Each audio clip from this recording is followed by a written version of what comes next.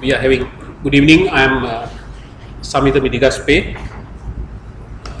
Uh, some of you may know me. I work at the Ceylon Electricity Board, and uh, I have about more than 20 years experience now serving in CEB. So that is maybe one of the reasons why IESL has been asking the last two years now. Maybe this is the fourth or the fifth time every year twice making this presentation. Uh, just for a start, uh, today we have relatively a lesser crowd. How many are you from the state sector? Government, semi-government, uh, government-owned companies? Okay. We have a fair number of uh, representatives from the private sector as well. During my presentation, okay, we are starting 7 5:15. Uh, so we will go in until 7:15. Maybe we'll have a five minutes break in the middle if time permits. Uh, during the lecture, also you can ask a question in, in not in any language, in Sinhala or English. Uh, I will try to answer, and otherwise at the end. And during the we don't have a point it seems today. No?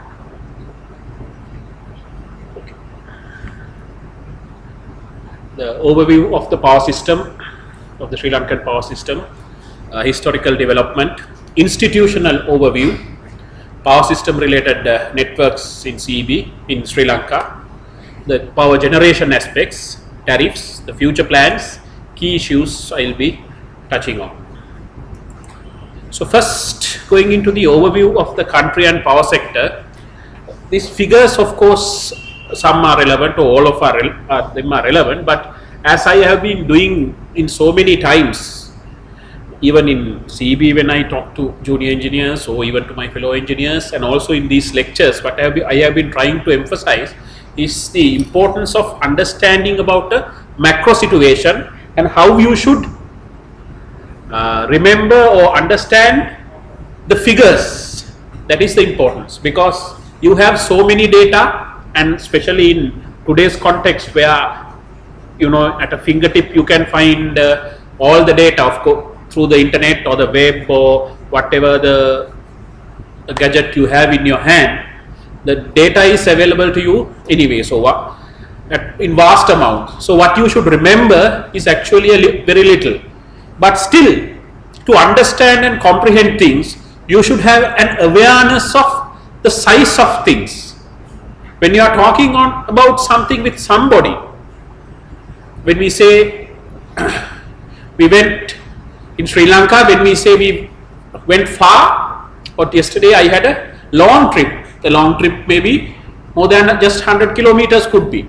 But in the same context, if you take it outside into another country, maybe in US or Australia, I had a long trip is definitely more than 500 kilometers or something like that. So you have to think of the context and also the figures. What does figures means? And how much figures should we remember? And the other thing is what always you should have an idea. As engineers as managers you should have an idea of the macro level. Because sometimes we are working maybe we are special in some agencies in some organizations we specialize. We start the career in a even in electrical engineering or civil engineering or in whatever aspect, we start at one place and continue to specialize in the same field, same subfield, same subtopic maybe. And after some time, we are only engaging in that aspect, maybe in that software, that theory, or maybe not even in the theory. Then we may be out of context in the engineering field. But we should have an awareness of where in the total picture we fit in. So that is important. When you are doing your job, also try to fit in in whatever your organization, where do I fit in? What is my role? And where does it fit in the macro picture of the organization from engineering perspective and also in the country from engineering, then economic, then from the total picture. So that is important for engineers. And in that aspects, uh, remembering or learning the figures is important but what is important is you should not try to remember exact figures that you cannot do. Maybe your age, your spouse's age, the children's age, I don't know because I forget. I don't know about you. So that is the maximum maybe you can remember. The date of birth, of course, you may have to remember. But other things, exact figures, it is very difficult. Engineering is not an exact science. No, I- if I remember one of our, my professor, our professors, Professor Karunaratne, Sam Karunaratne, was always telling that the difference between mathematics and engineering is mathematics is an exact science, engineering is approximation. So you, what we should know is, or have knowledge is about the approximate. So Sri Lanka's population definitely you should know. You should have awareness that the Sri Lanka's population is somewhere around 20 million. If some, but we, I, you cannot remember whether it is 20.1, 20.2. Now it is today when I was checking, I found that it has gone from 20.6 to 20.9. But still, it does not matter. I know that it is somewhere around 20 million. That is what is important. In Australia is also something like that in that 20 or 30 or 40. That is what I can remember. But when somebody says that Japan is maybe 50 million or 100 million, I don't know. I know to compare Sri Lanka's population and that country's population. When somebody says about a per capita in in Japan, this much of amount was consumed, and when you have to compare, you have to compare apples and apples. If this population, you have to know or have an awareness how much times the Japanese population is. You are trying to export something to Japan, or you are engaging in a conversation with a Japanese consultant about some rate in Japan, or or a per or a the total production in Japan, or something like that. Then you have to compare. To compare, of course, you don't know the Japanese population, so you can ask him, but you can't ask him the Sri Lankan population. That is the thing. So you should have an awareness, and also in where is it two million, 20 million, 200 million, or 100 million. You should be aware that it is, it is somewhere around 20 million population. And the area, of course, because we have been learning this, of course, I think most of you are still the people who may have, you know, not of the internet age when you were at school. So you would have sort of learned by heart at 5332 varga kilometer and those things uh, for the quizzes at school and that type of thing. Of course, today's kids won't know even this by heart. That's well. And the GDP per capita again, it is 3,924 last year according to central bank report. And again, what we have to understand is that the, the, the figure where it is, not the exact figure that you cannot. We are, so we are now very close to 4,000 about uh, six or seven years ago, maybe 10 years ago, one of the aims of the government, the policies of that time, the government was to achieve 4000 GDP. So once again in the electricity sector also, when you are answering your questions or even for your day-to-day activities as a professional or for your living as a professional, in the electricity sector also, you may be from other sectors, from civil or others, maybe the electricity people will need to know more to go into detail, but oh, everybody should have awareness, even to write your answers in the paper, in the B paper. You cannot remember all these figures, but especially the figures here, you should have some awareness that the Sri Lanka's installed capacity is around 3000.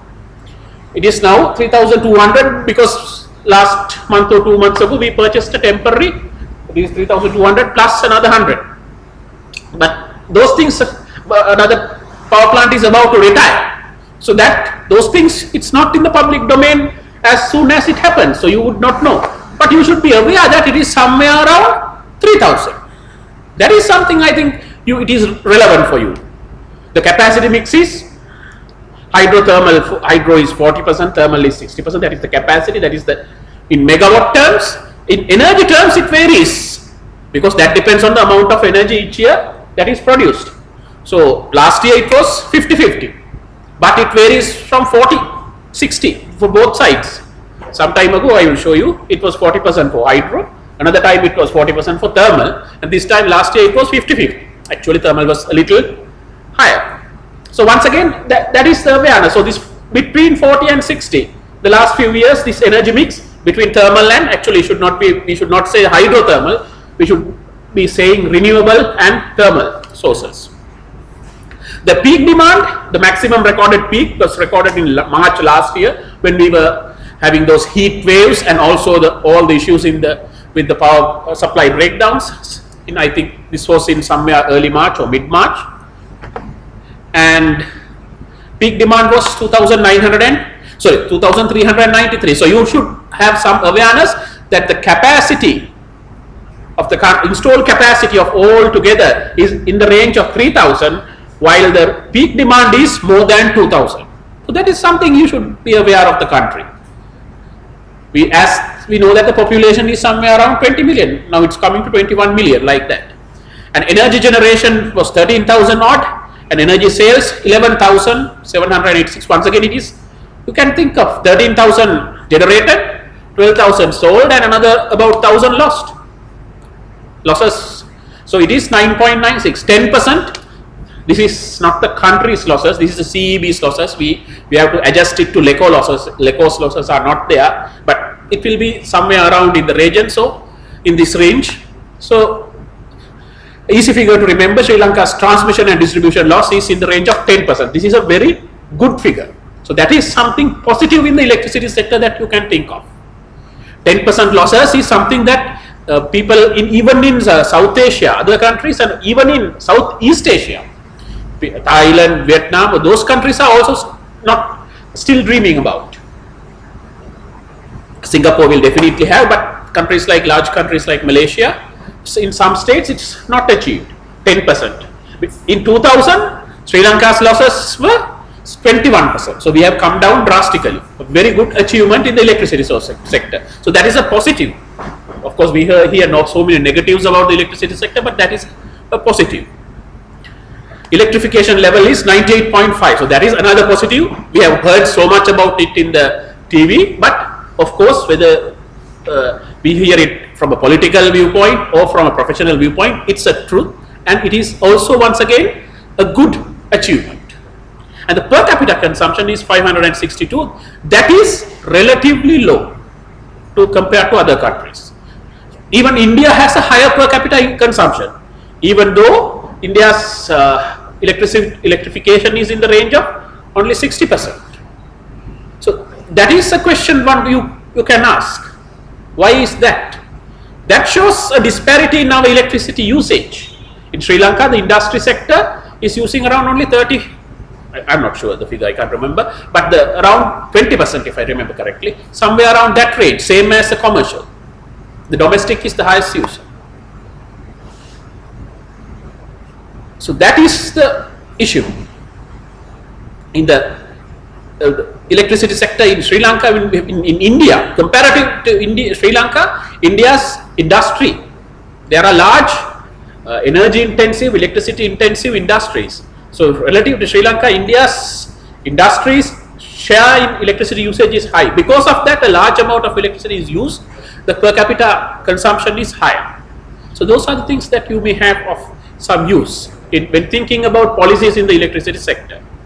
So these are just figures we have dispatchable capacity I have noted down. The presentation will be available I think for you later.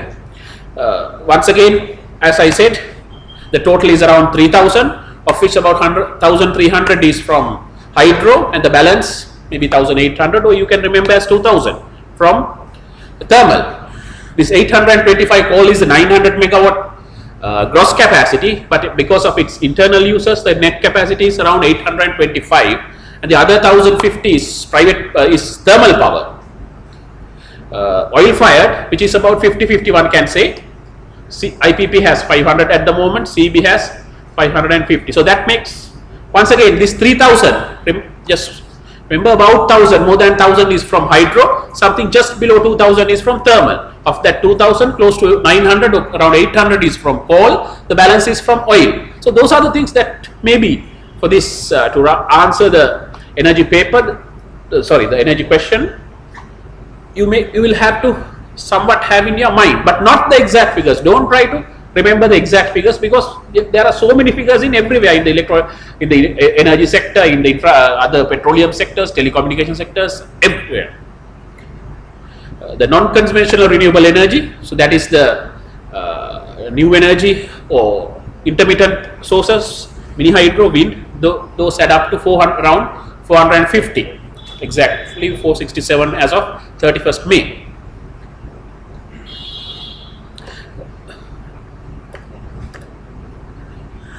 Now this is the generation share of the last, one minute, okay, generation share of the last uh, six years. I have, of course, put here maybe the percentage, the share, the share you would see of oil is decreasing and the hydro share is changing. The hydro and plus the wind, uh, the other renewables, wind and other renewables that is basically wind and biomass. So you, you are saying that Sri Lanka as of now or maybe about uh, last until maybe last week or so uh, Sri Lanka's elect, uh, energy policy was that uh, until a certain period is until a decision is made we would be replacing or using coal as the next option of fuel for the base load operations because it is the uh, of the imported fuels the, the uh, fuel with the least cost and with the implementation of the coal plant in 2011 you are seeing an increase of percentage and about 35% of the country's electricity requirement was produced by the Norochcholai coal plant.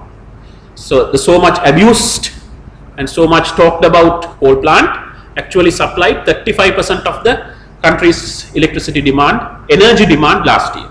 So that is a positive aspect I would say with the negative aspect being its uh, failures or the trippings that you are hearing so much about but when it's working you don't hear, you don't uh, get that news. But the news comes from things like this where that you will see that in 2015 oil produced only about 15% of the uh, yes something around 15% of the country's requirement when in 2010 and 11 it was around 50%. So that is a positive move that we have made since the last 10 years or that we have moved from coal from oil to coal a cheaper uh, solution a cheaper fuel. This is the 2015 share uh, figures move illustratively yes 37% from uh, major hydro and 34% from coal. So coal is matching major hydro last year, maybe it will go more, more this year, we don't know. Depends on the hydro. Uh, last year was a good hydro year. As you would say, 50 around 51% came from uh, renewable sources, sorry, thermal sources, almost 50% came from renewable sources.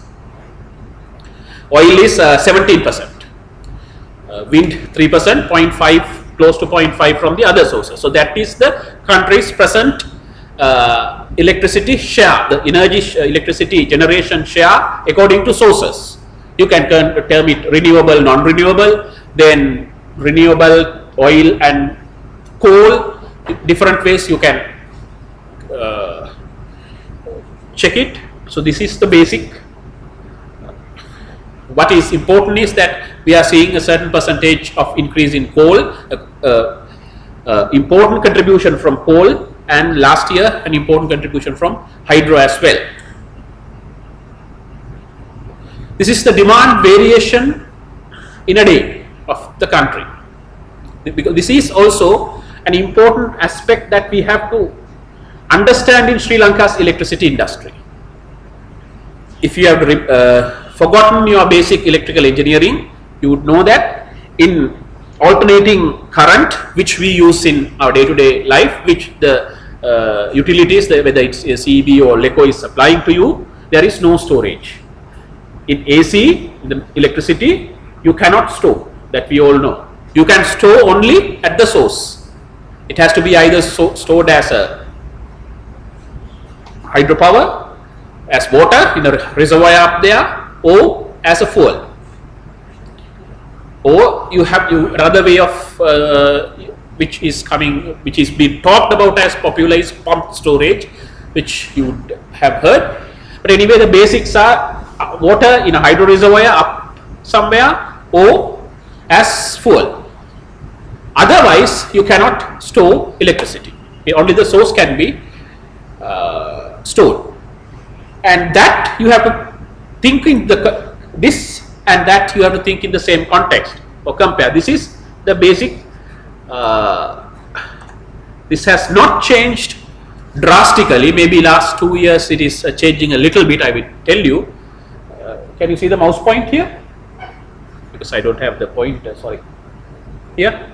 Okay. So from this, we can all can say or understand what we are doing. From midnight to 3.30 or 4 o'clock, we are all sleeping. And from 4.30, there is about, by 6 o'clock, there is a hun about 100% increase, something close to 100% increase from 500 to 1000. Of course, these figures change by year and per every day also. This is typical for a working day. On a weekday, this would be more flat. That is the morning peak as we would call it. The morning peak is a presumed uh, is a peak, uh, not even though not as considerable as the evening peak, but it is a protruding peak which we can see. So after 6 o'clock we all switch off and start going to work, to school, everywhere. So that is why this is coming down. Then we all go back to work. We, we all go to work, office, and we are starting up our uh, office, factories and everything, putting up the switches, lights, air conditions and all that. And in the lunchtime, there is a slip here. So some people concerned about electricity or some people because their management is very restrictive or very strict, they will switch off their lights or their equipment during the lunch break and once again work. So around from 3.30 we are starting to go off. Maybe the factories are shutting down or our people are you know going and queuing near the register, register or whatever. By 4.30 the day peak or the sorry the daytime of uh, dip has started. Around 5.30 we start or the electricity networks gets really busy. From something around 1500 sorry about 1250 it goes up to something close to 1700 in this graph. So it is almost again around 100% or 75% increase. Sometimes it is almost close to 1000 some days some years back. So that is when we start at home. And there is a pronounced peak during this 3 hours starting from here to here and this is where Sri Lanka's maximum peak is between 6.30 to 9.30. And, and so much of from this 1700 to 1750. According to this graph, about 750 megawatts of machines are necessary to supply this for 4 hours. So that is specifically for those 4 hours. That is what we call peaking plants. So that is where our uh, load pattern is a detrimental factor to sort of a in cost wise because we have to use high cost machines it because and we are we are using only for a short time and what are we gaining from these four hours that is what you have to think again i i, I will tell you this elect in this uh, especially for this paper and also when you are looking at macro level this electrical engineering the energy side and the economics. They are all mixed. So you have to think in that context. You have to consider about the economics everywhere. So here is the one thing that you can say. Sri Lanka is using so much of electricity in these three hours. And electricity we say we use for gainful economic activities. Now what are the gainful economic activities that we are doing in these three hours? Of course, the run the pair is one thing. Other than that, maybe there may be other economy. Of course, the commercial work is going on in some shopping complexes are open. That is true. But still, are we doing night shopping? Are we into so much of night shopping compared to other countries? I don't think so. So most of this is we are using in domestic switch lighting, TV and air conditioning. So what is the economic gain that we gain? So that is something, but someone would say yes, but we are getting a good physical quality or a comfort level. And that is a developing uh, the, that is an aspiration of a developing nation to increase their comfort level their physical qualities of life. That is increased because we will watch TV We will have an air conditioned room in the heat, in the heat that we had about two or three months ago. Of course, having an air condition was a comfort. So that is another aspect. that is why I said there are no exact answers. It is all approximations and comparisons, pros and cons. Your uh, problems, your questions in the paper because they are engineering day to day macro level questions. So they will also not have definite answers. Is it correct to put on your air conditioner in the afternoon? No, you will not get uh, such questions because those are not, there, there are no hard and fast answers for them. You have to weigh. What do you think? And of course, as engineers, then we know that we will have to do a calculation for the economics of that, for the finances of that, and also for the social part of that, even, even though we cannot quantify it, at least a qualitative assessment, if we are going to analyze that. So that is the way we have to think. There are no hard and fast. So this, uh, our uh, demand curve, the load pattern is important because it is more skewed to the domestic usage and it is not flat. Our plant factor, it is our capacity factor, which you have heard is in the range of 60 percent. That means if the total capacity was the total energy that could have been uh, utilized by the machines running 100 percent uh, was divided by the total energy or if we had a line going through this maximum amount that area covered by that, by that straight line and the area covered by this graph is around uh, the division is about 60 percent. So that is a low figure relatively. If it was around 70 percent or 75 percent, of course, they say that it's a good figure. But on the other hand, if CB is selling this uh, generated electricity at a loss, of course, this may be a better figure. That is once again something that we will come into this talk. So these are the daily load curves of the maximum day of the respective years from 2007 to 2014. Sorry, I could not put in the 2015 figures. You would see the same. It's the same pattern starting from the morning peak, then the uh, day flat and the evening peak.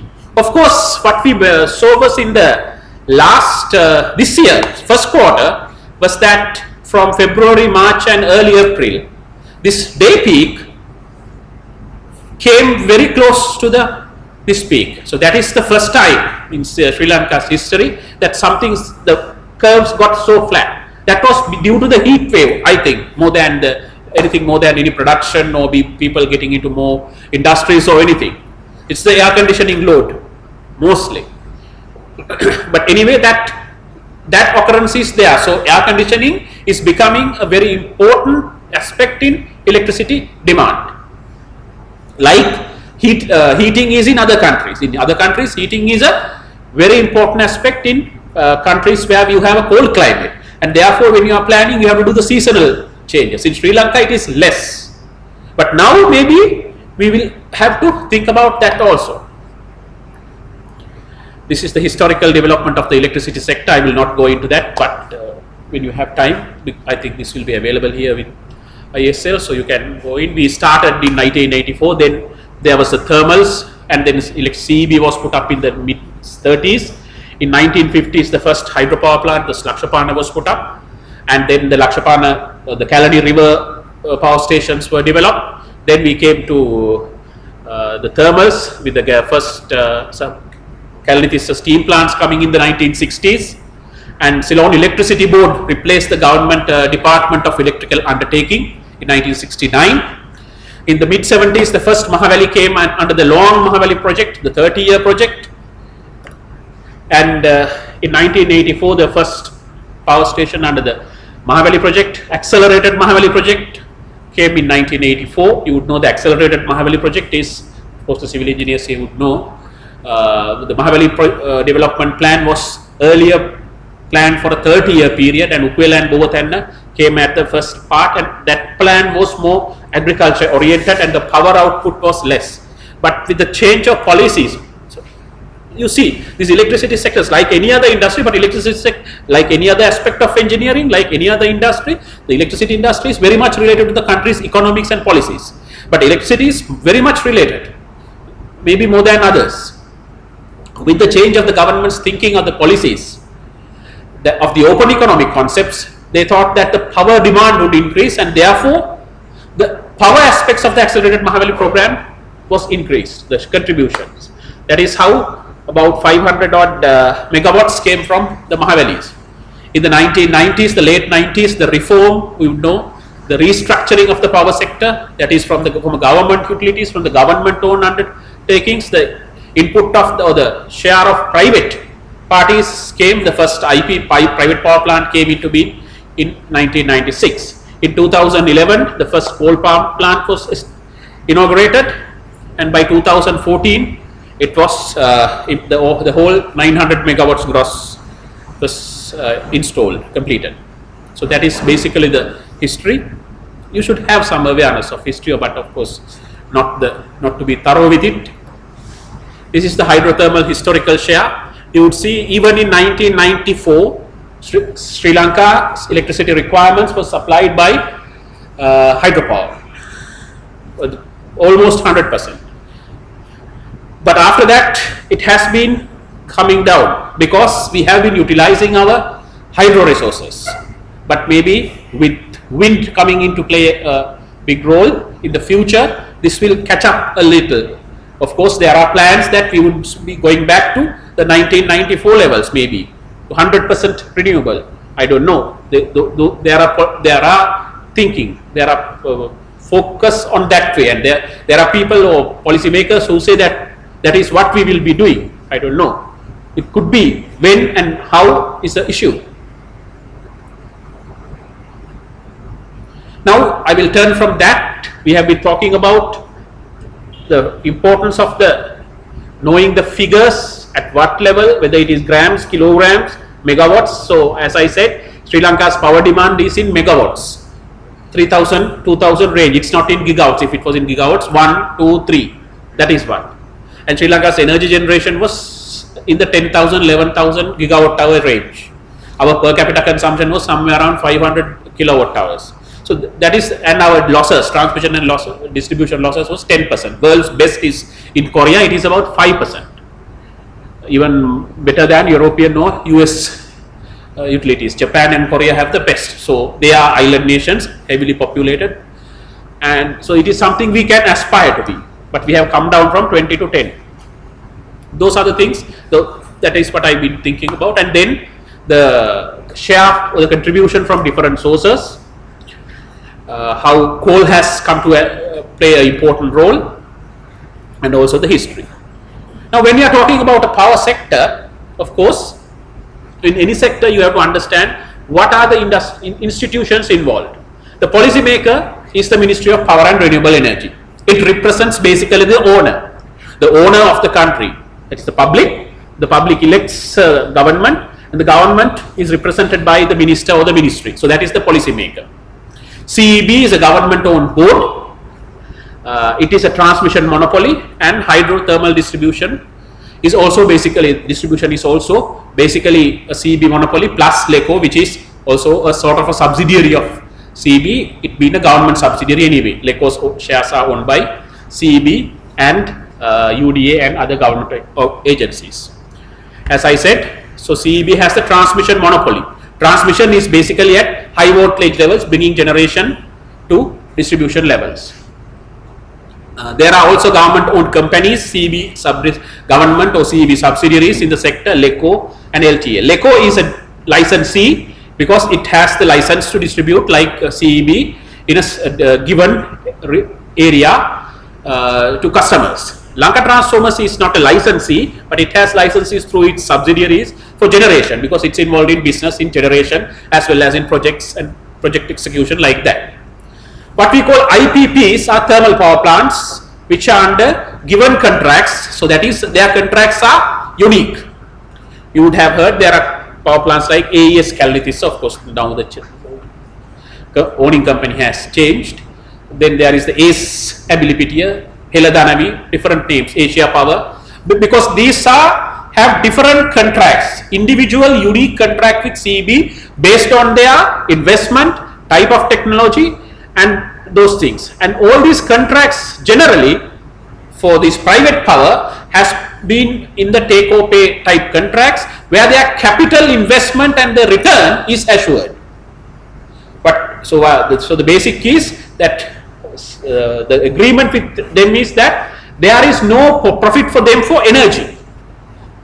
They have to assure the capacity. If you have 100 megawatts committed, you have to assure 100 megawatts throughout the time that it is in contract. For that, they will be paid their investment plus a return. If on CB's request they make in, in energy, any, any energy, that will be a pass-through.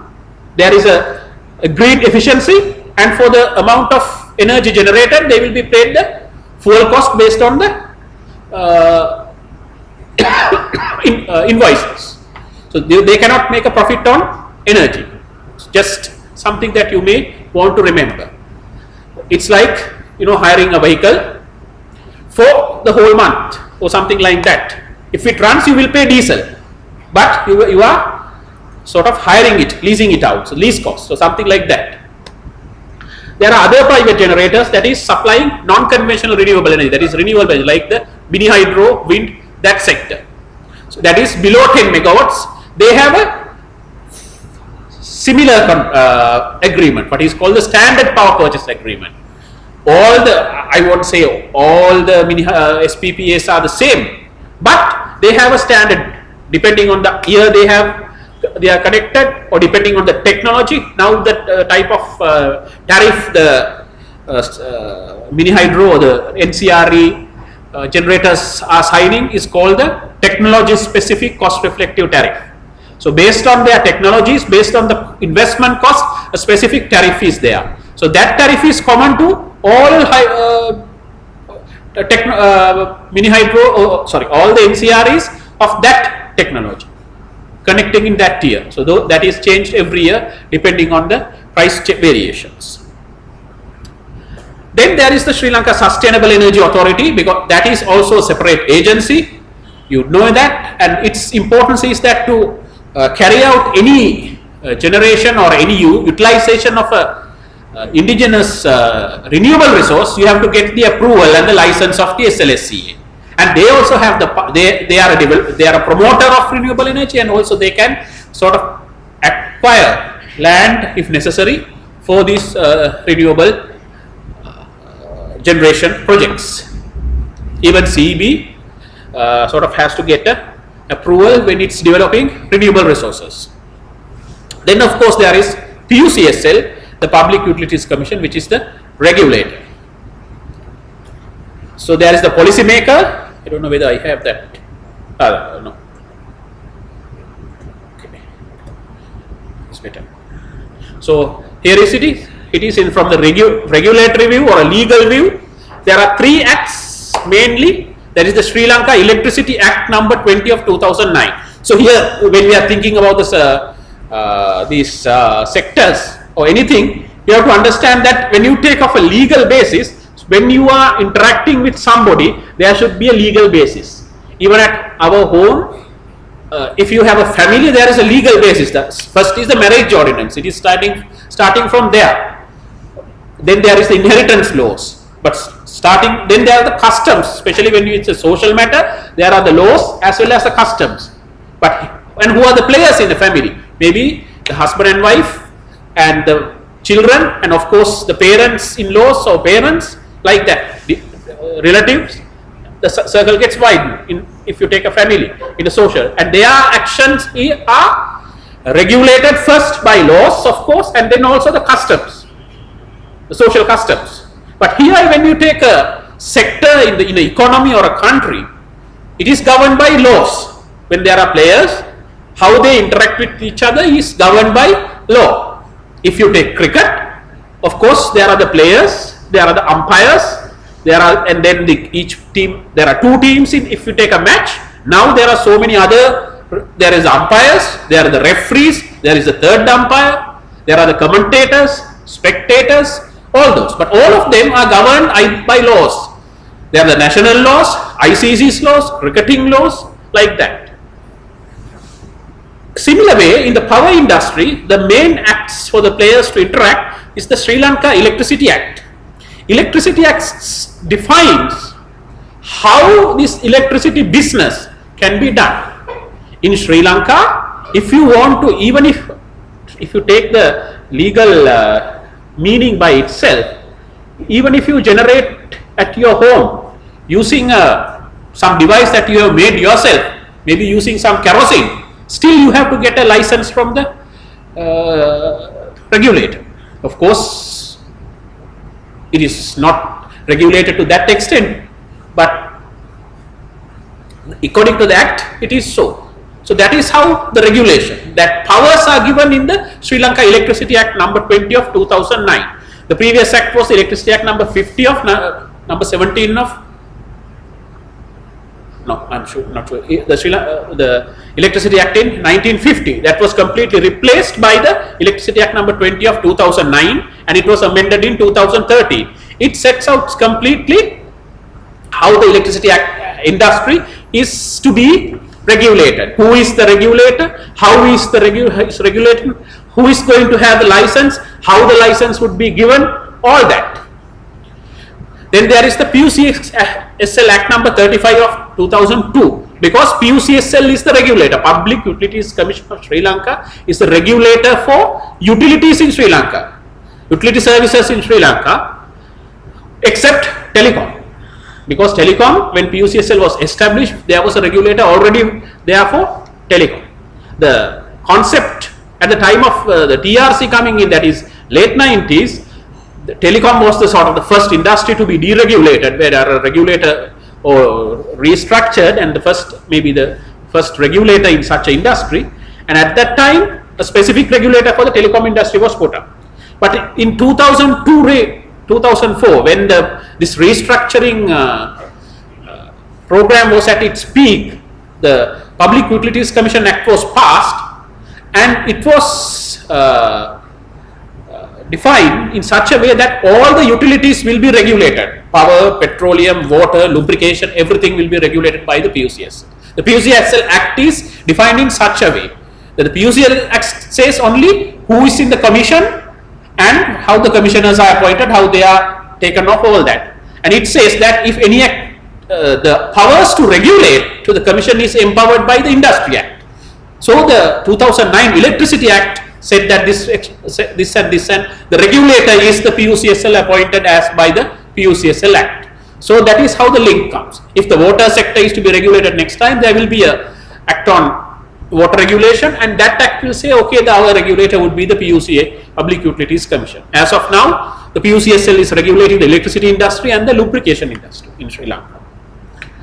The policymaker, of course, is the Ministry of Power and Energy on behalf of the government. Transmission license in Sri Lanka, there is only one according to the Electricity Act, and it says the CEB is the transmission licensee. Generation license, CEB has generation license, IPPs and the SPPs. All per- persons who are supplying electricity to uh, CEB or the transmission licensee have generation licenses. In distribution, there are five licenses. CEB has been issued four licenses for four divisions or four areas that CEB is covering and separate licenses for those division 1, division 2, division 3, division 4 and LECO. So those are the licenses. So these are the main players in the sector. There is the policy maker at one end, there is the government, and then there is the regulator at this end. The regulator is the techno-economic regulator. So it can regulate technical part, that is the safety part, and the technical part of it, as well as the economic part, that is the tariff. Both of these parts, the PUCSL has the power to regulate. PUCSL is a techno-economic regulator of the industry. And CB's license is, li- uh, according to that, CB has been given the distribution for licenses and the generation license for the for 15 years and the transmission license. So after 2025, maybe act, the act is open. So then there may be changes. Let's say I have a five kilowatt portable generator in my home. Say, is it necessary to take a license to operate? Uh, previously, if only if you are selling it to somebody that you needed to get actually you cannot generate and sell to anybody in Sri Lanka because the only person who can purchase electricity is the transmission license in Sri Lanka. That is definite. So you cannot generate and sell to anybody. That you cannot. But even to have because the act, if you read carefully, you will see that for any generation of power to use a generation facility, you need a license. But I don't know after the amendments so recently, maybe the PUCSL have uh, given because PUCSL can give uh, exemptions. So it may now have given exemption for anybody who is using for its own an exemption maybe may have been given. Or you can ask. That. I, I think that was what the thinking was. That was what they were aiming, but I am not sure whether it was done or not. That is the logical thing. If it is below something, or if you are using for yourself, that's okay. But anyway, you cannot sell. Nobody can sell electricity in Sri Lanka except to the transmission licensee, because that is how the electricity industry is structured. The pricing and everything is done in that way, so that only the transmission licensee can uh, purchase electricity from a generator. This is the basic uh, diagram of the single line diagram of the power transmission network. I am showing you again one for you to get a sort of understanding.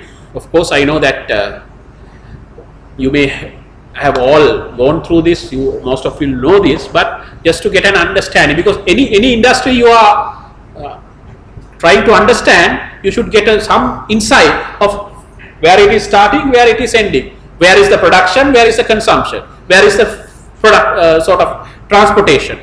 So that is basically for engineering we need a start and an end. So in that way analyze or keep in your mind the electrical industry also. It is starting from generation, so that is where the production is, then it is transported through the highways, then through tributary low or lower grade higher roads and then through the by roads to the customers. That is how you can remember electricity also. So these are the generators.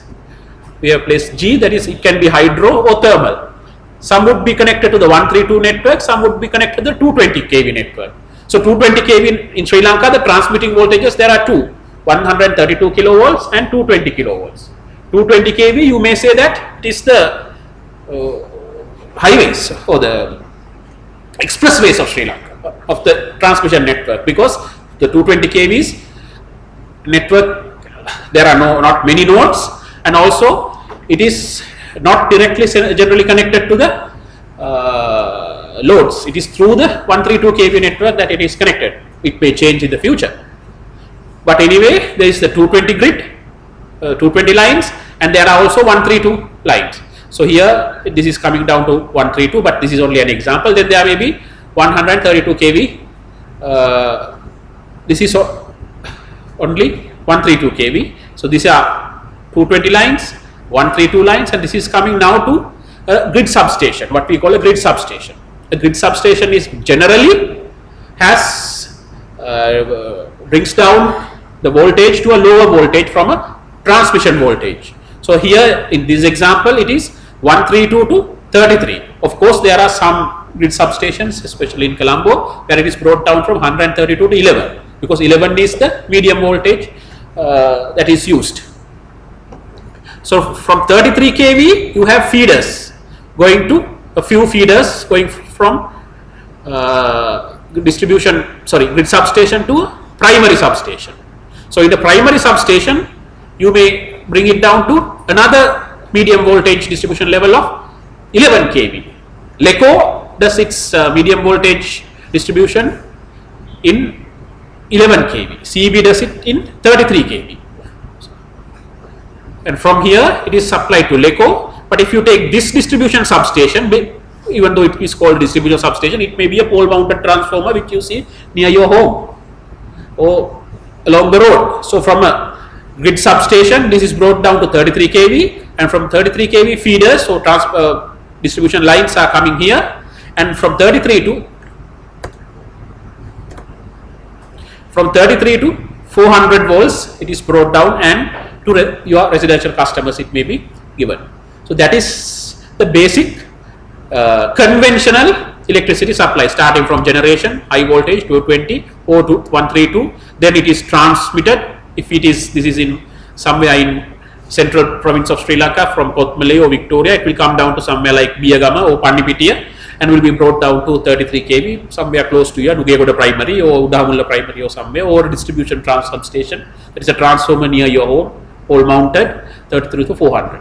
Or at 33 level there are bulk customers. Of course, many of you would be bus bulk customers who are getting your electricity at bulk level. So that is, so if we think about uh, in the uh, sort of a analogy, this is, you know, your whatever your rice so dal or paripu, whatever is being produced here, and it is transported in heavy loads, in heavy vehicles, at in large volumes, very fast.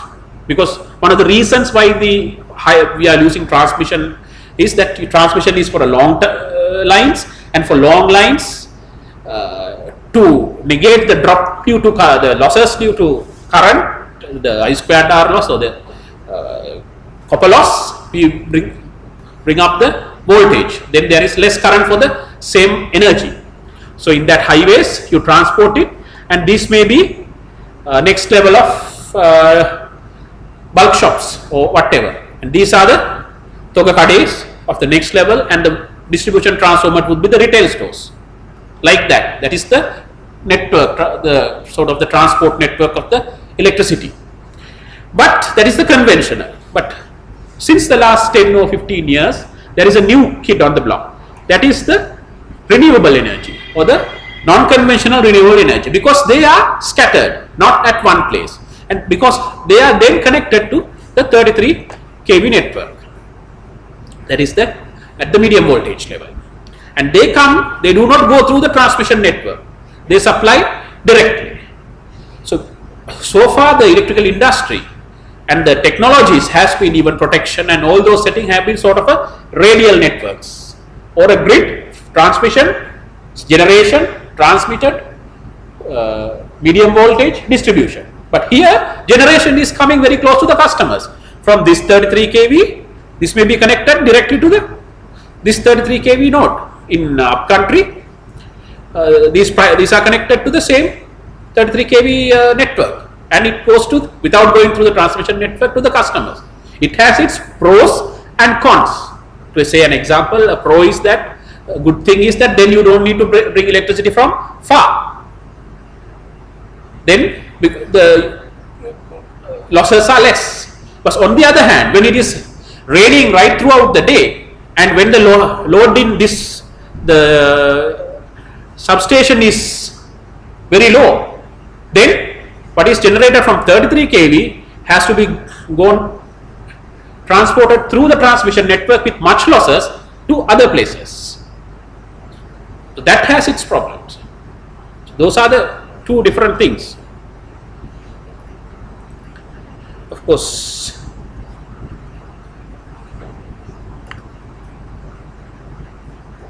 I will not go through the Mahaweli and Laxapana complex diagrams, if they are available. Just to show you the present transmission network,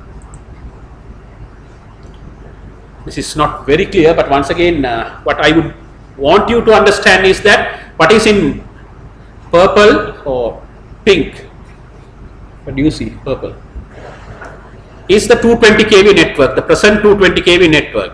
You would see that the whole, uh, the squares are the grid substations and the what is circles are the power stations. I don't know whether you see it so well.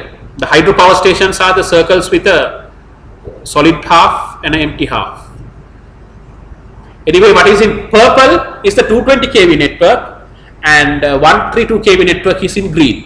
One thing you would say is that there is a concentration of power plants in this area. That of course in the central area. That of course we will know because the hydropower plants are located there. Then there is a concentration of grid substations in this area and down here in this area. Why is that? Because most of that that is where the load is. In, if you take Sri Lanka, this area takes up the bulk of the about 62, so I think 75 northwestern province, western province, uh, southern province. Together takes about 60% or 65, I can't remember, you can go through our data of the electricity demand and also I think the gross product domestic product of the country. That is, and also there is much of the population, the industry and commercial organizations are there.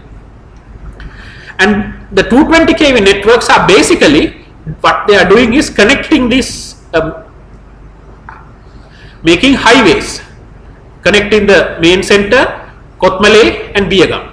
Then also giving some, you know, uh, expressway for the current because it has to go right up to the north. These areas, it is giving a uh, 220 expressway from here. And also, you, we know that a main power station is here in Putlam. So this 220 network brings down, 220 line brings down power from there to the west west coast and there is a missing 220 line which is uh, because this diagram is old from Putlam to Anuradhapura also. So there is a 220 kV ring at the moment. This is also collected at 220 kV. So that is basically the 220 network and the 132 network goes sort of a radial from the central area connected the west and to the other areas in radial. So that is I will show you the planned one. So this will have more rings later. So this is basically the 220 and the 132 networks. What you would see or you can gain from this is that the concentration of grid substations in the southern or the western uh, coasts of Sri Lanka because of the electricity demand. Generation technologies that we will touch on in 5 minutes time. If you have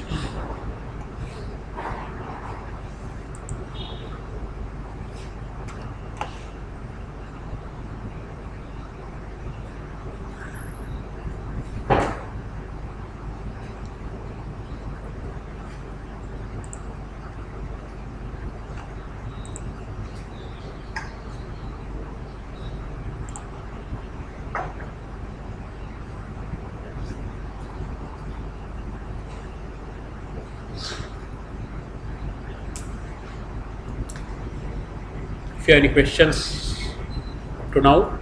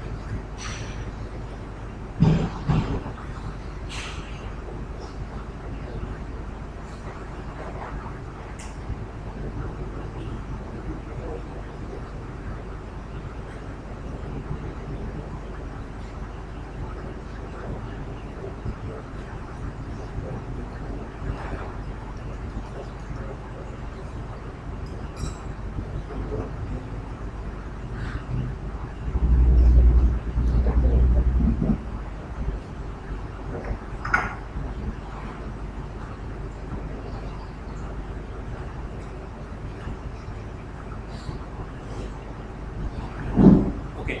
And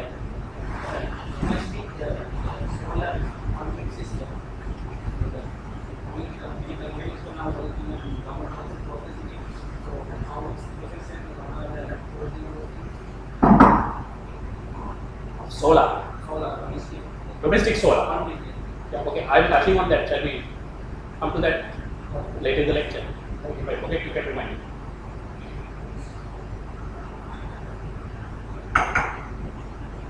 So I will uh, just uh, we'll talk about a little on the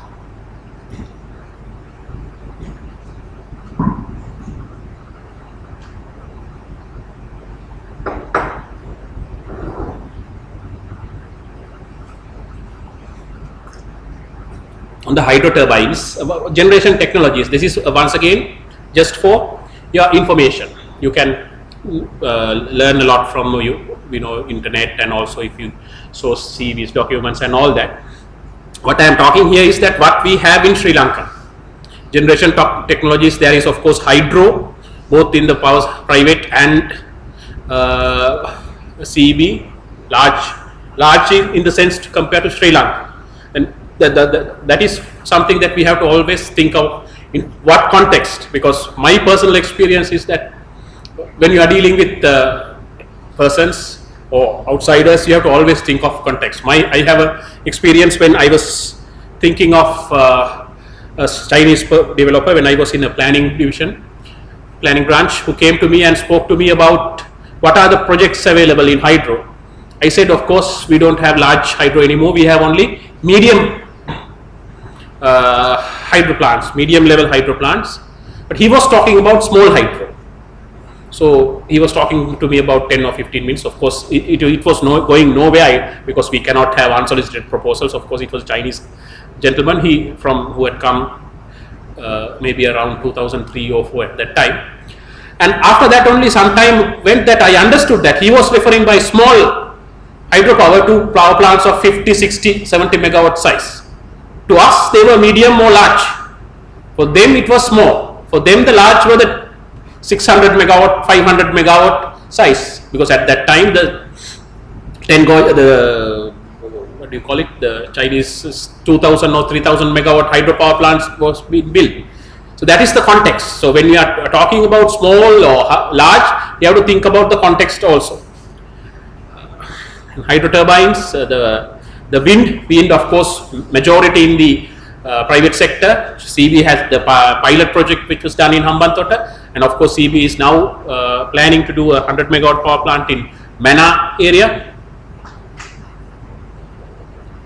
Steam turbines we have as of now in coal, steam turbines in uh, biomass power plants, in some biomass power plants, dendro.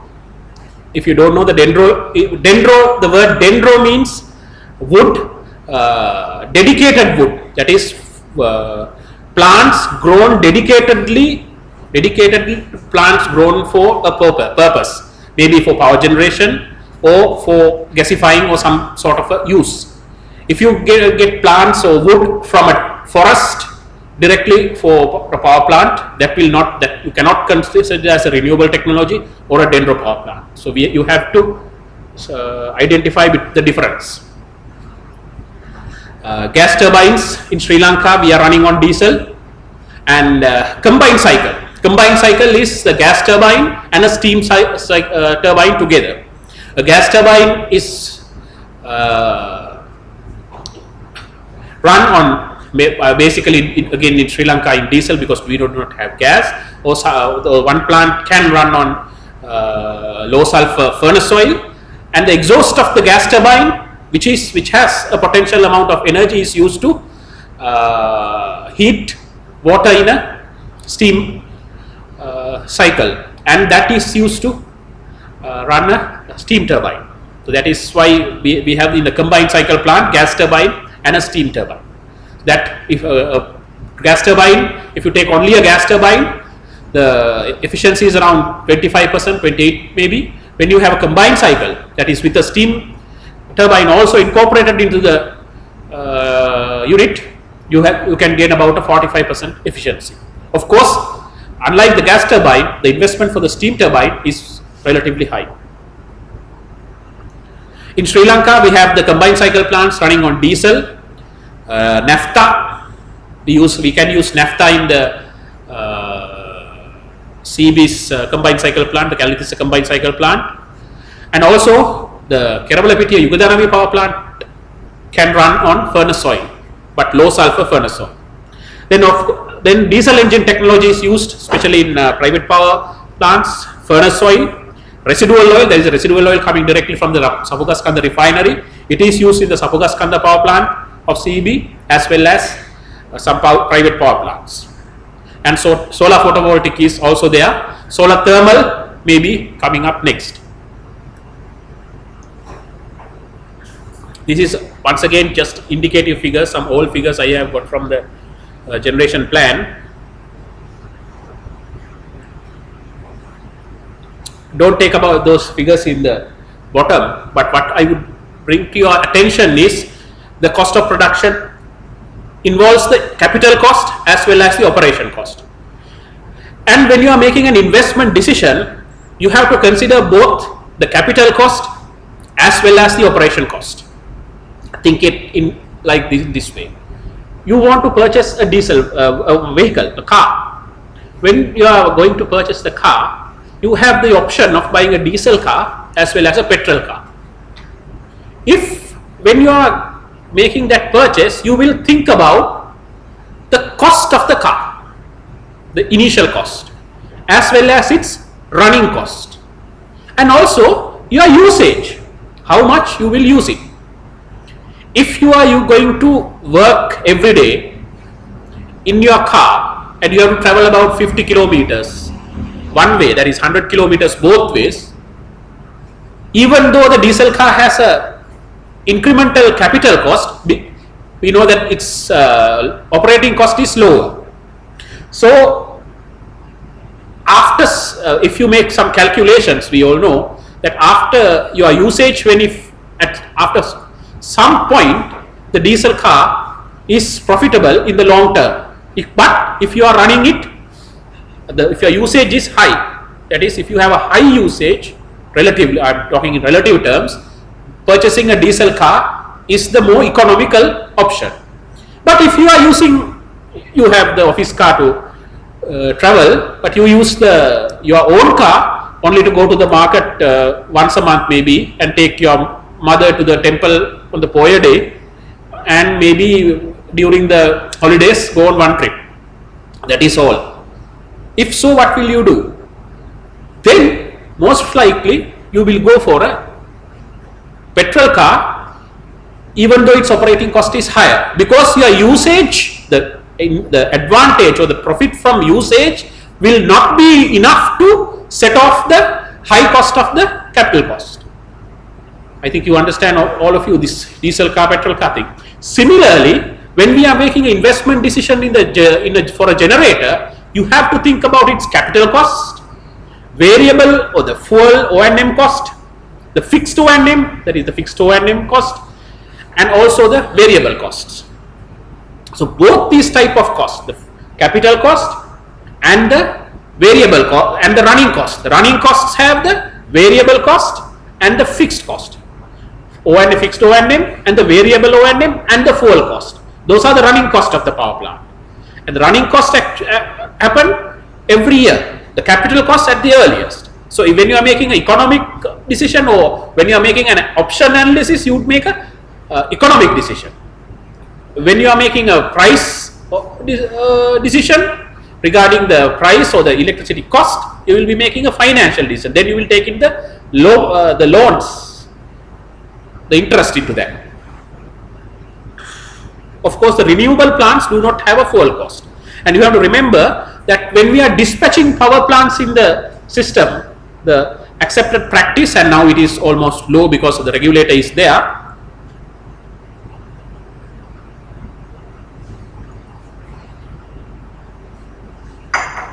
The general principle is that you di dispatch only based on variable cost because the capital cost is something that you have already incurred.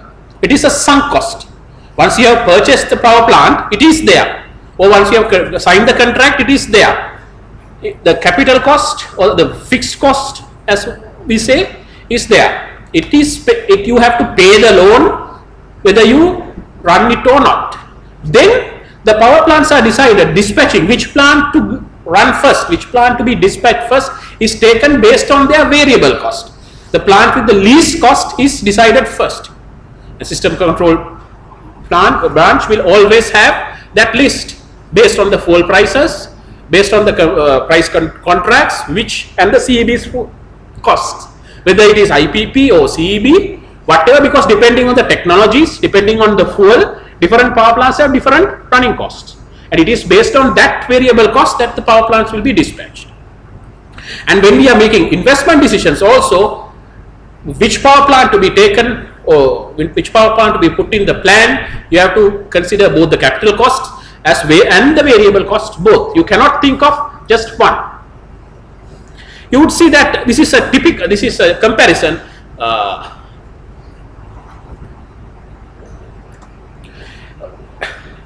in the coal power plant, when it is uh, 1900 I'm just showing you the for a comparison.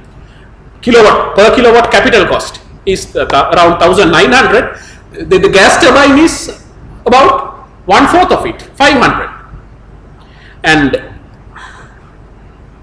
if you go to the operating cost, that is the generation cost, where the fuel costs and the all are taken, but here the capital cost is not there.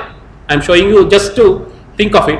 The coal 3 uh, power plant, the capital cost is at a very high level, is 1964. The gas turbine is 500, about one fourth of the capital cost. But in the operating cost, coal steam when it is 5 US cents, the gas turbine would be 25 US cents, 5 times the operation cost. So that is the difference. If you if we if you go back to okay, I come back. You will see here this part this is the plant factor that is the usage. This is the specific cost. That specific cost has taken into account both the capital costs and the operating cost and the time value of money. All of them have been considered. Then this these are the costs. This once again just take the figures because these numbers have changed. The actual numbers would have changed, but not the uh, what you call the line. So you will see that when the usage is the plant factor is increasing, the cost per kilowatt hour is coming down. Here it is something like that. The gas turbines are somewhere here. The coal power plants are here.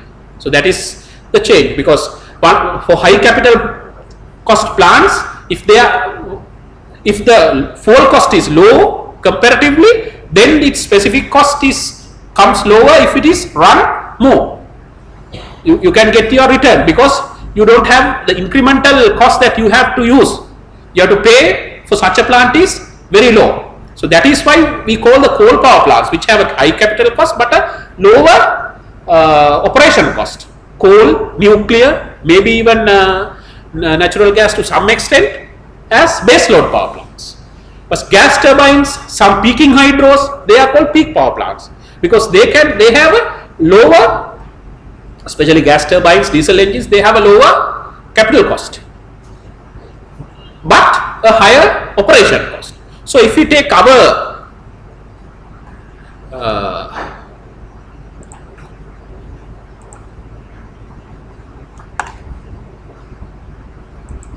our load pattern of the daily load curve, you would see that amount something below this is always there is this demand.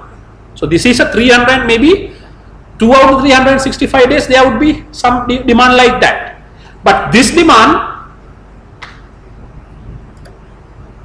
comes only for about 4 hours a day. So you need a different type of a power plant for that period. Because if you buy a high capital cost power plant for all this time it is lying idle all this time. Then its capital cost will not be recovered by the fuel costs because it's not running. So that is why we have we need a mix of power plants. Even though one would say coal is lower or diesel is lower or hydro is lower you need a mix depending on this load pattern and also the different fuels like that.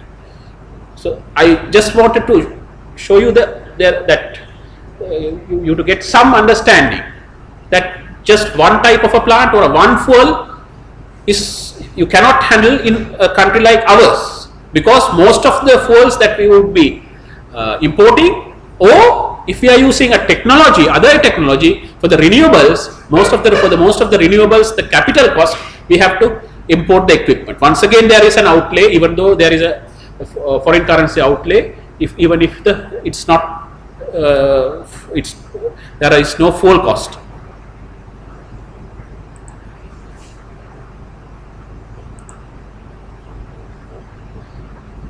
Now coming to tariffs. Uh, again another issue in Sri Lanka. Different tariffs. There are many different tariff categories in Sri Lanka of course, in a lot of countries there is. There is the domestic tariff, the general purpose tariff, and it is below 42 and more than 42 kVA. As you, I think you all of you know that more than 42 kVA, you need to have time of use tariff. That is, depending, there are three tiers of tariff bands, and depending on the time, you are charged differently. At the peak time, you are charged higher. At the off peak, you are charged less, and at the middle time, a middle amount. That is to encourage or discourage or to change this load curve. You would, I think, understand a little bit now uh, based on our load curves why we are charging like that. Previously, this time of day tariff was voluntary, but now to all customers above 42 kVA, it is compulsory. And even for domestic tariff, we have a three-phase, uh, sorry, uh, domestic three-phase customers, CB or, or uh, Sri Lanka has a uh, time of use tariff. This was brought up especially to cater for uh, people who are having uh, electric cars. So that is something that you would uh, we see in this policy issue. When uh, this uh, electric car phenomena came in, the CB and the electricity sector thought that okay, this is something we have to get uh, used to, and this is something that should be encouraged, considering the pollution levels and the efficiencies of the and the energy efficiencies of the country. So therefore, uh, an attractive tariff because at that moment, at that time, what uh, repelled most of the people was the high tariff. But if you compare even at that rate, uh, I think uh, if you take only the operation cost, uh, the fuel and electricity is still at 45 uh, uni, uh, rupees a unit.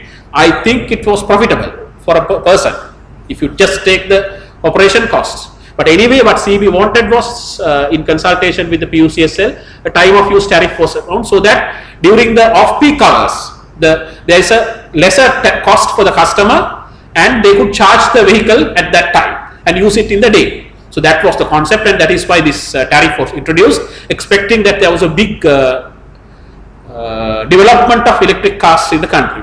But as you know, there was a po- policy change at another type. Uh, I mean, not at this end, but at the other end. And now I don't think there are many customers for us of three phase. There are some, but not the expected amount.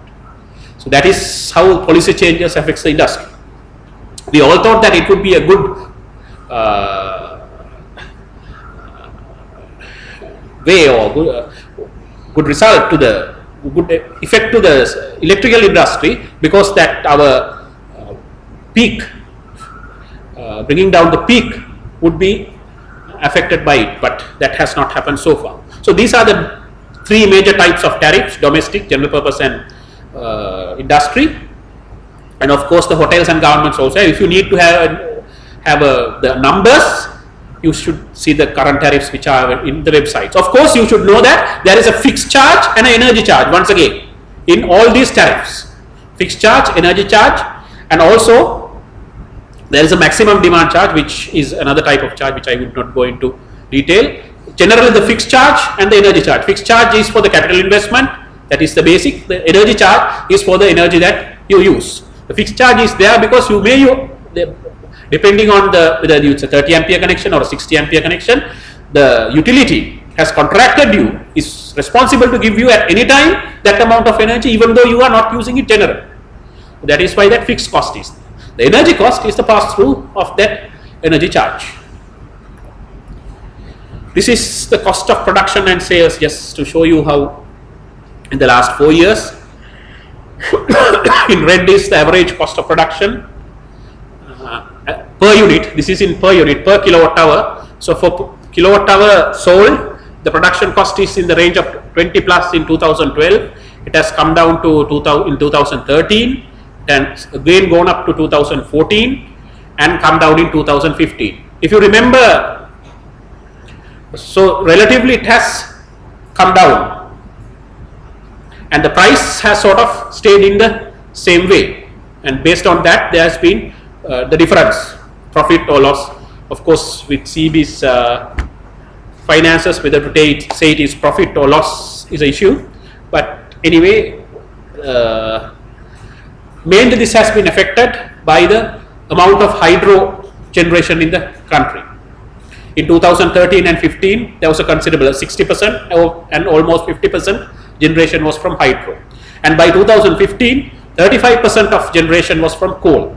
And those are the two, two things which has affected in bringing down the, uh, the cost of production. And, and also in general, uh, the compared to 2012 in 2015, the fuel costs have also come down, but on the other other hand, the O&M costs uh, and the ancillary administrative costs that have gone up with the cost of living.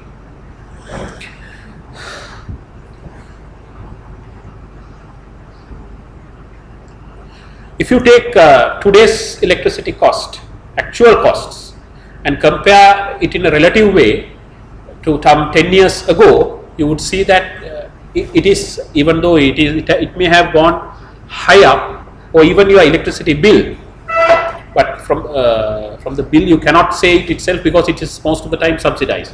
But in a relative term, what we can see is that uh, relative to other costs, uh, the electricity costs would have come down in uh, uh, from a total percentage level. But because of the subsidies, this cannot be shown. As you would know that uh, domestic customers who are uh, using more than 180 are charged at 45 when the average uh, selling price is in the range of 20 to 50. So that you you would see that there are differences there. But of course, whether that is right or wrong is another issue. These are things that I would like to point out. So the future development, uh, CB carries out. A, this is not a 15 year; it is actually now for a 25 years. The long-term generation expansion plan, and by law now this has to be carried out because the 2013 amendment to the Electricity Act says that the transmission licensee cannot purchase any power that is not in the uh, uh, generation plan. But of course, whether that is happening or that is another issue and uh, first there is the generation development and the transmission development associated with the generation plan and the distribution plan is uh, at regional and provincial levels. The plan generation Umaoya hydropower 150 megawatts of course last one and a half years as you know there have been issues with the project Broadlands project is uh, going on at two, uh, 2017 of course it will not come Moragolla hydropower project, there is again a small one. The, these are the uh, remaining hydropower plants potentials in Sri Lanka. Trincomalee coal power plant, is a joint venture by CEB and NTPC. Of course, very recently, last two weeks, you would have heard that there is a big question mark which has come up. And of the base load of the large power plants, this was the one in the pipeline that has come close, almost close to realizing because tenders were about to be called and finances were about to be sought between the joint venture. But as you, there has been, we are uh, by the government, there it is said that there is a decision to turn from coal to LNG. Of course, if that happens, this will get delayed again, and that is an issue in the sector. Mannar 100 megawatts wind by CEB, that is uh, also in the feasibility has the feasibilities have been completed. It's in the financing stage and feasibility studies have been carried out for advanced subcritical coal that is for higher efficient coal power plants uh, use of LNG pump storage also nuclear planning at a very lower stage at a very initial stage. Just for your knowledge the transmission network you would see that there are 400 kV lines proposed. This red one are 400 kV lines, you would see uh, additional uh, lines. These purple lines are the 220 kV networks by two, 22, 22. An additional number of uh, rings for the uh, sorry additional number of lines for the 132 as well as for the 220 networks is planned. And also this is from the 2013 plan. The current plan would be a little different from this because with the annual rolling plans depending on the circumstances these plans do change.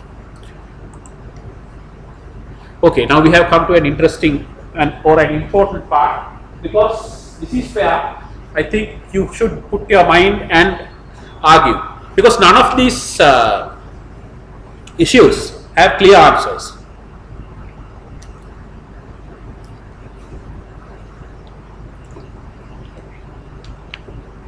I will start with uh, the economic part in this. Yeah. You would know that uh, you have would have heard always that CEB is at loss. Petroleum Corporation is at a loss. What is this? CEB produces electricity and sells it at different costs to different customers. When the pricing is done, it is expected that certain customers would subsidize the other customers. But still, sometimes this tariff is not made to make it balance. And there is a part that it is expected the government would subsidize. And this subsidy has to come in cash. But the government cannot raise this cash. And the CEB buys petrol, oh sorry, petroleum from Petroleum Corporation. And CEB buys electricity from IPPs. And when their bill comes, the IPP has its own bill, and that has two components, as I would say the fixed cost, that is for the capacity payment, that is for the investment and the loans the power plant has taken, and for the energy, that is the second part. So it's a two part tariff, so it's a huge amount that has to be paid. Then the CB's full bill has to be paid. Of course, when you are trying to pay, you know, you have to, when you are at, also at home, you will think who is to pay. Of course, you will first pay the tele telephones, I know, all of you will pay the telephone bill, next the water bill, and next maybe the electricity bill. But if you have borrowed something from your father or mother, you will put it later if you don't have it any money. Like that, CB will also think who is to pay. Of course, CB will pay its employees the salary, like you would do bring uh, rations for your home, for your uh, daughter or your family. Like that, CB would first pay its salaries. Sometimes it may not even, and then it will take who is to pay the outsiders. Of course, IPPs are there. With IPPs, there are legal contracts. If you don't pay, there is a sovereign guarantee for the government. The government is bound to pay it anyway. If CB do not pay, the government will have to pay. And if there is a failure, it will go. Most of them are foreign investors, and CB has legal contracts with them. And if we do not pay, there is interest component added to it. And also, they they may go to courts, and they may stop even supply energy. So CB will pay first the IPPs, and even on the IPPs, sometimes which have a lesser uh, interest, higher interest are paid first, maybe the others are next. Then you come to the petroleum. We don't have the money to pay whole, the whole thing to the petroleum. We will pay a part because CB does not have money because petroleum is like your relative, no? It's in the government, maybe in the same ministry and uh, petroleum will not you know they will not come barging in here. Of course the petroleum corporation will chairman will issue statements. The minister will scold us. But whatever it is the same government or same thing. So what happens? Cb is in debt to uh, petroleum. And also cb may not have had enough money to pay those ipps also. For that cb borrows from the people's bank. Ah, and now there is cb's uh, overdraft. It is increasing. So cb borrows from the people's bank and pays to uh, IPPs and also to Petroleum Park. And Petroleum has to raise the next LC to pay for the next uh, petroleum needed for CEB, maybe CEB and also for the country. And for that, they do not have enough money because CEB has not paid. So they will go and borrow from the Bank of Ceylon. So their overdraft is also increasing, and they will bring electricity that will be generated, and CEB will again uh, pay at a lower co- at a cost lower than generation and once again some more will be added. To CB's debt to People's Bank the overdraft will go out. Again the debt to Petroleum Corporation will some more increase and again Petroleum's debt to Bank of Ceylon will and fortunately CEB is borrowing from People's Bank. Petroleum Corporation I think is borrowing from Bank of Ceylon. So th- that is balanced. So that is how this net is done. So that is this this uh, circle vicious circle is there and it uh, of course it has uh, it was very vicious about three or four years ago, about five years ago, when the whole thing was run on fuel, and when the fuel prices were really hitting us. But things have eased definitely by now. That you have to understand. CEB's overdraft has come down. Of course, CEB is not paying its long-term loans as of now. Only from now year, this year it's going to pay for a whole 10 years or 15 years. CEB has not paid its loans to the treasury. So that is again some people the treasury has subsidized the electricity customers but treasury means the whole country is subsidizing the electricity customers. The people at that time, maybe about 85% of the people were subsidized by the whole 100% of the country. Even today, when we say you subsidize, somebody else is paying. We have to understand that. So that vicious circle is there. But on the other hand, that vicious circle was there because some people were subsidized. Electricity was sold at below cost. Why? Some might say because the politicians don't like to lose elections. Maybe that is one reason. But on the other hand, there is accepted policy in economics and especially in social economics that the people at the lowest rung of the economy should be supported. Whether it's in industry, whether it's in commerce, that is the, whether you are doing your own work, uh, what we call the small and medium industries, the SMEs, or the self uh, businessman, small businessman. What I mean by small business is the bullet or the person who is running a salon by himself, or a poor customer, the Samurdhi customers. Can can or they should they be made to pay the whole thermal bill? There is a big argument coming from some other policy, not policy or policy makers or some uh, people that the resources, the hydropower of this country, the energy coming from hydropower is a right of all the people of the country. So everybody should be given that power at that cost. So that everybody has that right. The other thermal higher cost should be give, given to the people who are using more than that. There is one argument put uh, why the below 60%, 60 units people are having such a low 2, 2 rupees and 50 cents when somebody else is at 45 units is pay, sorry 100 more than 180 units is paying at 45 rupees. In Sri Lanka you know domestic customers some are paying at 45 rupees some are paying at 250. Why? Is it correct? I don't know. That is a policy. So these things affect the electricity industry. And these economics as you were asking about the uh, solar of course, solar eh, solar power does not have a fuel cost. That itself is an advantage. And the, uh, if it replaces a fuel during the daytime when it is running, yes, definitely it is an advantage. Eco economically, it could be an advantage. So our strain on foreign exchange will be less. But there is a hidden part to that also because all this pricing structure approved by the PUCSL was made in such a way, I, I didn't explain you how the tariff is made, but it anyway is made that finally the revenue requirements of the CEB is met by either from the uh, recovery from the customers plus any subsidy from government. So in those assumptions there is a certain amount of energy that you are supposed to be sold to customers who are more, paying more than uh, using more than 180 units. So they are paying 45 rupees. So they are supposed to subsidize those customers who are using below. But once you have the solar power, the solar net metering, those customers now there are about I think 20 megawatts of solar power in the country. Uh, if I, I, don't remember the number of customers, there is net. What I mean by net metering is that you have your solar power uh, generator on the roof, and you can you supply electricity when you are not using to the grid. Of course, you have to have certain uh, agreements and some certain technology meters installed like that. And for that uh, bill, you are billed only for your net consumption. If you have imported, you are billed. If you have exported, it is collected.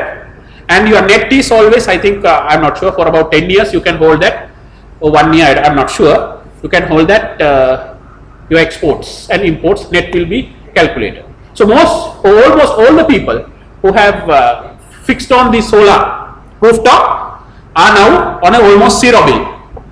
And it is economical if you financially calculate uh, on the face of it, it, it is financially viable only if you use have some a bill about 7500 or 10000 in the present uh, tariffs and all those people were paying or supposed were supposed to pay at 45 rupees now they are not paying most of the time a cent. And the pricing policy had that. What? That they, some customers were supposed to uh, subsidize those about uh, I think about 200, 2 million customers, I'm not sure, it's in the millions, who are using below 60 units. And who is now, their consumption is not subsidized. It is not paid by some, anybody. So it is going into the uh, books of CEB as a loss and it will be transferred into the government's losses because that subsidy, as I showed you somewhere, even it is those it is CEB's losses, it will be in either in an overdraft of CEB, so that is in the People's Bank, or as a loan or a loss to, or unpaid loan or a debt to CPC or a debt to an IPP in the country's losses. So that is the negative aspect of it, because the policies, the the the encouragement of renewable is a pol- government policy that is in conflict with the pricing policy. That is the issue. That is the negative part. And there is an- another negative part of it is that the solar power is uh, generating only in the daytime. But during the peak time, those customers are between 6:30 and 9:30. Those customers are not uh, generating any electricity. Sorry, those uh, net metering customers. But they are drawing most of the time from the system, and they are not paying anything because they have supplied energy only during the daytime. And during the daytime, of course, there is a support to the system from them, but not as much as the cost or the strain on the system when they are drawing from the system during the peak time. So that is again there is a conflict. So those two are the negative points from the solar net metering onto the system to the in the present context. If the prices change, if the uh, structures change, of course it will be different. And the delays in implementation of power projects was one of the major issues. Always when the power project, you should you would know that it is a long process for a coal power plant to come up. Sri Lanka's first coal power plant was thought about in 1981. I, I myself looked into it. It was in a generation plan in 1982 for the first time. And it was in 2000, and it was supposed to come in 1989 or 90, the first plant. It came about in 2011. So 21 years of delay. That is specifically.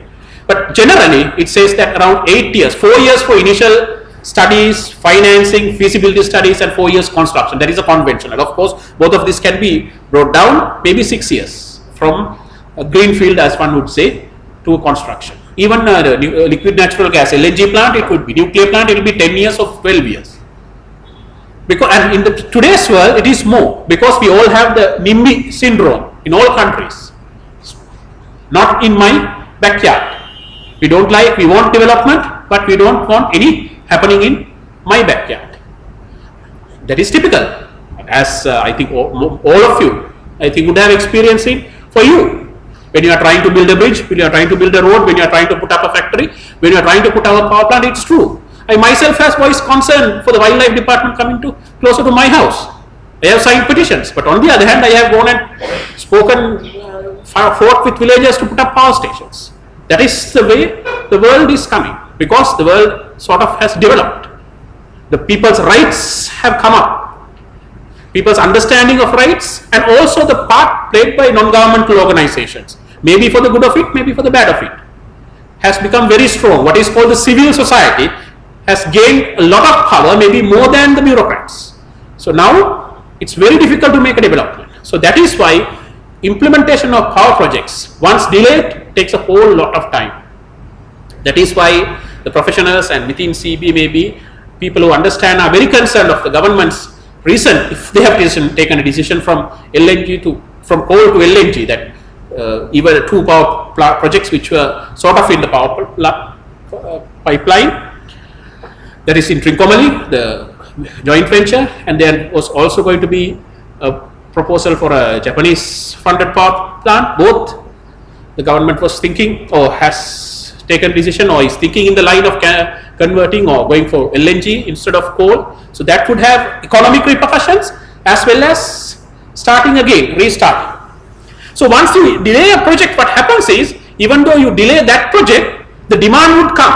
Of course, the demand would may not be the same as planned because the economic development is not as planned. When you are planning, you have to do the plan according to the projected economic development. And always, if you go through the uh, plans, the official plans, the government plans, there is a rosy picture. The economy is supposed to develop. So the planners in government entities has to plan according to that. Otherwise, they will be anti-government. Fortunately, these things get delayed. Because of that, there is no oversupply. But on the other hand, once you get delayed, especially things like coal project, and when that get delays in this window, there is a demand in that you have to fill in the short term. What happens? You get in power plants that are that you can implement in short term. Basically, fuel power plant, fuel fired power plants, low capital cost, high fuel cost plants. So that is where from 1992 up to 2010, with the whole country suffered because with the delay of baseload power plant, when we had the demand for a baseload power plant, we did not have one. We because it was getting delayed, we were putting up small small full power plants, oil power plants, and that cost us. So that uh, could happen once again if you delay in power plants. Of course, high cost of production was a very big issue in the last 10 to 15 years. It is relatively low today, but it will always be relatively high compared with most of the other countries because we are a fuel importing country. 100% of the uh, petroleum fuels plus coal we have to import. Of course, if we hit the gas or the petroleum deposits, it's another story, but they still would be what the what we hear is not sufficient, even if though we have one. And if LNG replaces coal, of course, the ex this expected relative decrease in fuel will also not happen in the electricity cost. It will be because if you take uh, the world uh, scenario, because of the climate change issue, you all know that climate change is a phenomena that has been scientifically accepted, which says that due to uh, climate change, emission of climate, uh, certain six gases, the atmospheric temperature is, has gone up by almost 2 degrees and because of that there is a climate change and the sea level is rising. Carbon dioxide is a main reason and coal is one of the major uh, carbon dioxide emitters and the world in 1990 uh, with the, uh, the Kyoto agreement with the UNFCCC agreement in 1990 agreed to limit carbon uh, the agreed to limit climate change due to uh, this uh, emission of gases. But uh, and in 1990s there was the Kyoto Agreement, and once again there, the the principle was that the world, the majority of emission has been done by the uh, developed world.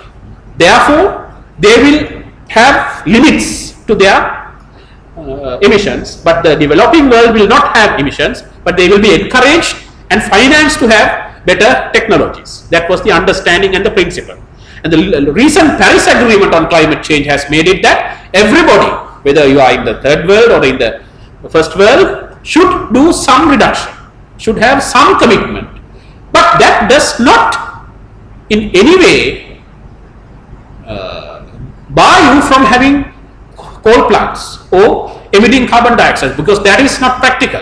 If you go through the power plants of India or uh, China or even United States, you would see that they have coal power plants coming up. But they may have reduced the number of coal power plants that they were supposed to come up. They would have increased the renewables. But Sri Lanka was a hundred percent renewable. When they were using coal power, we were using renewable. So therefore should not come to us because the cost in cost comparisons, coal is still the cheapest uh, fuel available if you compare the imports. The LNG costs have come down, but still coal is a cheap option. So that is so in order to avoid this, uh, there is about I think 30 or 300 million. Uh, sorry, I will not say figures offhand, but if you take the number of power plants coming up in China, what is planned for a 30 year period in uh, Sri Lanka's power plants, the last power plant was to come up in China in one year. Sorry, in India in one year in coal plants. They may have reduced by 10%. But we are trying to be sort of very, very, you know, philosophical or very meritorious by trying to bring good to the world by avoiding coal plants because then our emissions will come down. But will it affect? How much will it affect to bring down the world uh, temperature, atmospheric temperature? We have to be practical in these things. And we are doing a huge lot amount of renewables. Maybe more commitments toward renewables in would be our commitment instead of sacrificing these economics to our people because that will definitely increase the cost of production and the electricity prices to the people or the economic crisis out of that. The financial losses, I told you, the policy changes, the very recent, when, because policy changes in the electricity sector, if, if you change the uh, duty structure of tobacco, it's hit tomorrow.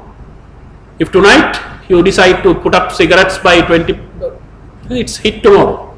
But if you decide to convert coal to LNG today, that will be felt in 10 years time. So the people taking the decision may not be there. And people who are agreeing with that may also not be there. And people who are executing at like us will also maybe retire.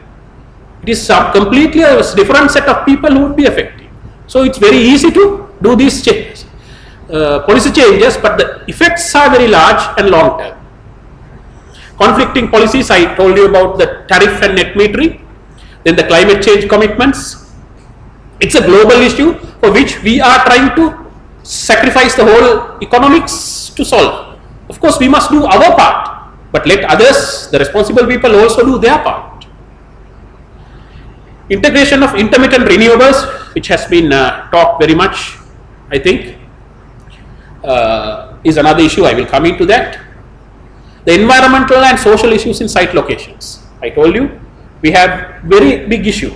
That is true for all projects, all infrastructure projects coming up, where the environmental concerns have become very powerful and sometimes may not be practical. In Sri Lanka, this is a personal opinion of mine, we have doing during project implementation stages or at project planning levels, you would have been encouraged if there are EIA uh, environmental impact assessments and after that the EIA reports and huge amount of conditions are laid out in those and during the EIA reports you go into such a detail to check about this flora and fauna about this plant this uh, animal or this. It is true. I am not saying that they are wrong. But you go into such a decision and those all those uh, projects gets delayed after that. But once those EIAs are approved with all those conditions see about four or five years later who is interested in that nobody we have so much of strict laws in the country regulating environment but are they implemented? Only at a level of start but not at operating level. You go and check how many polluting industries are there they are not checked. But if you want to put up a new industry but it would be better for a country. Now again once again this is something related to power sector also. To have a more lenient set of rules or regulations but to impose them very thoroughly then you would have a smooth implementation but regulation at operating level also. So those are the things affecting. This affected the Upper Kothmale, this affected I think uh, uh, at presently Uma Oya or Broadlands that is from the power side and we all know that even the airport, harbour, road projects, everything gets affected by this. It is not specific to Sri Lanka. Most of the countries this is happening.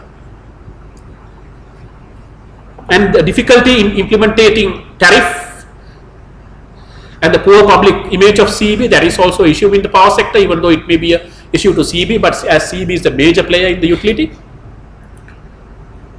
Involvement of private investment. Now this is something again an issue. Uh, finding required capital this is again linked that is who should invest in the sector government or private. If the government invests the issue is some people say that if the government invests capital government has only a limited amount of fund availability so that fund is can be utilized for a set because power can be generated and sold. You can earn from that. But health and education you cannot earn. So whatever funds are available should be utilized for them. But for the uh, where uh, uh, cash can be generated, let private parties come because they are they will not come for education. A private party will not come and put up a central college in your area. No? As to teach your kids free. That will not happen. But the funding from the ADB may be utilized for that. from the World Bank may be utilized for that. For power generation, we'll get a private generator in. So that is the one side of it. But the other side is when the private generator is coming, the capital cost, the interest are charged at high rates, depending on the country's stability, country's uh, security risk, and the country's financial rates. All those, there are high interest you have to pay.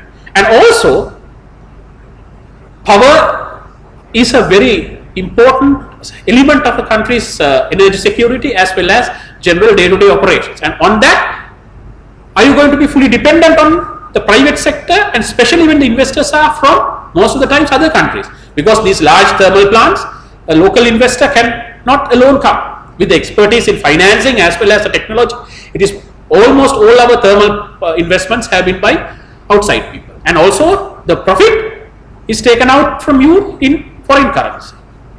And you become dependent on them.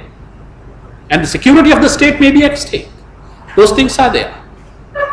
And also with them as i said uh, depending on the financial situation you know delaying payments those things that cannot be done.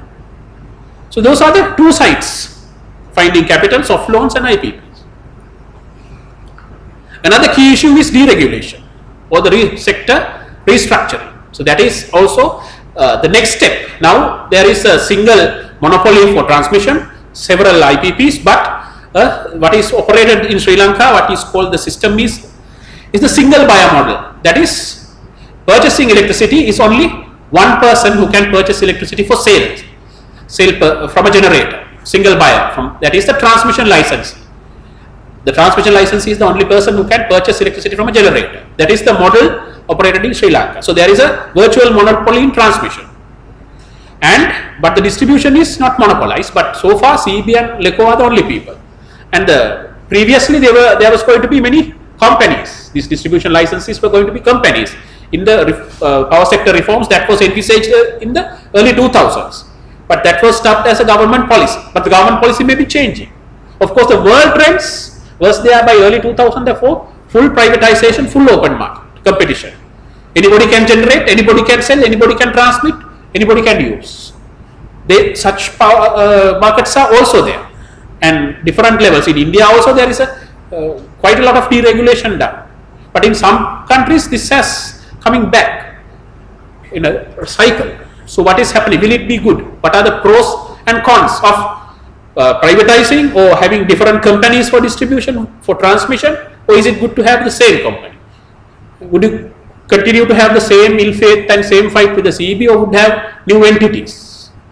What is better? What are the pros and cons of that? Those are the things that you might want to think about. The renewable energy integration, of course, has its uh, own merits and demerits. This has been talked about again, like for solar, I said, the main advantage of renewable energy is that the fuel cost element is almost zero. So that when you take thermals, uh, the fuel has to be imported and the operating cost fuel charge has to be paid. But for the renewables, uh, it is not so. The problem with most of the non-conventional renewables is it, that is wind, mini hydro, solar, and some others is its intermittency. That is, you cannot the conventional power systems in power networks. The operators could ask the power plant to increase or decrease depending on the demand.